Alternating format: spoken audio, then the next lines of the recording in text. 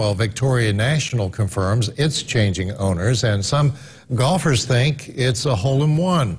The Tri State Treasure is one of the best in the country, but it wasn't always. Eyewitness News' Stuart Hammer looks back at the early days of this elite course. I'm probably uh, 19, 20 handicaps. That's good for me.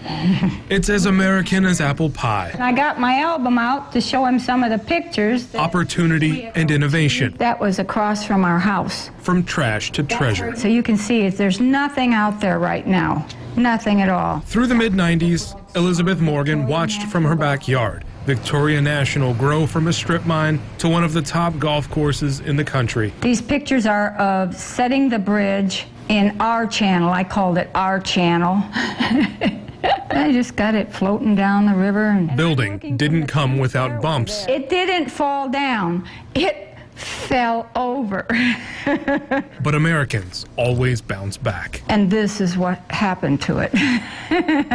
but see how rough the golf course is? For two decades, that's all steel, and they put it together. She's felt a connection to one of golf's greats. Here's uh, uh, Friedman, and I don't remember this man's name. Every memory carefully clipped and organized. You don't need the pictures when you were there with them. She's played Victoria a few times, but with the new owners, she's hoping to add a few pages to her scrapbook. Here's some more some really good ones. The course will be owned by the Dormie Network from Nebraska, and Elizabeth has an idea for the new leaders. Maybe every once in a while, open the course to the public. Opportunity is one of the great American values. Yep but like the game of golf. So, patience is power. I know that. Stuart Hammer, Eyewitness News.